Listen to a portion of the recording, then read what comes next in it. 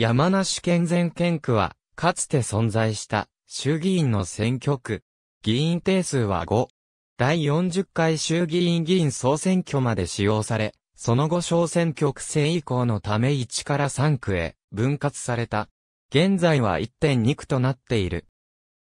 第40回衆議院議員総選挙7月18日執行、当日有権者数65万8294人、投票率76.19%第39回衆議院議員総選挙2月18日執行、当日有権者数62万9290人、投票率82.73%第38回衆議院議員。総選挙7月6日、執行当日有権者数、60万3433人、投票率、83.10%第37回衆議院議員、総選挙12月18日執行当日、有権者数、58万7076人、投票率、78.11%第36回衆議院議員、総選挙6月22日執行当日有権者数56万6837人、投票率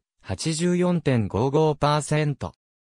第35回衆議院議員総選挙10月7日、執行当日有権者数56万2676人、投票率83.50%第34回衆議院議員総選挙12月5日、執行当日有権者数55万620人、投票率87.29%第33回衆議院議員、総選挙12月10日執行当日有権者数52万7421人、投票率72.31%第32回衆議院議員、総選挙12月27日執行当日、有権者数51万379人、投票率79.16%第31回衆議院議員、総選挙1月29日執行当日有権者数471。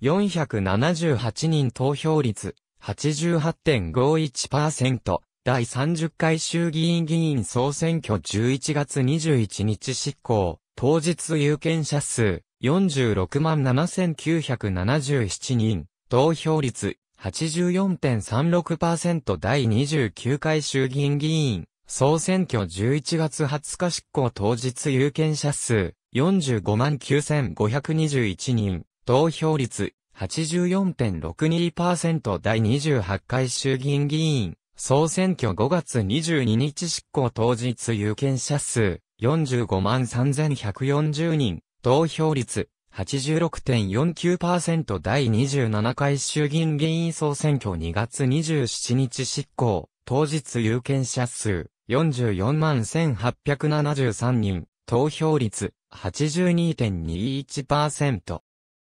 第26回衆議院議員総選挙4月19日執行、当日有権者数43万7638人、投票率82.03%第25回衆議院議員、総選挙10月1日執行当日有権者数446,945人、投票率80.28%第24回衆議院議員、総選挙1月23日執行当日、有権者数。422922人、投票率78.69%第23回衆議院議員。総選挙4月25日執行、当日有権者数。439289人、投票率71.47%。ありがとうございます。